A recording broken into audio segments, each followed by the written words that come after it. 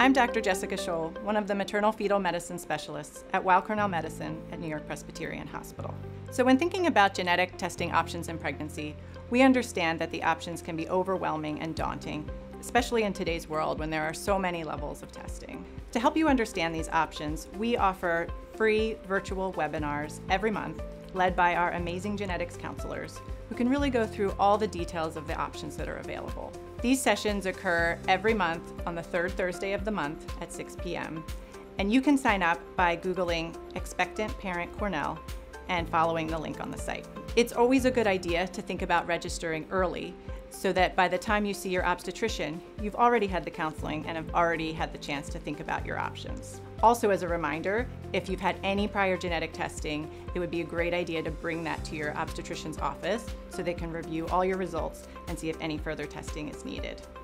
So we're here for you as you navigate all these complexities of genetic testing in pregnancy so you can make the best informed choice for yourself and your family.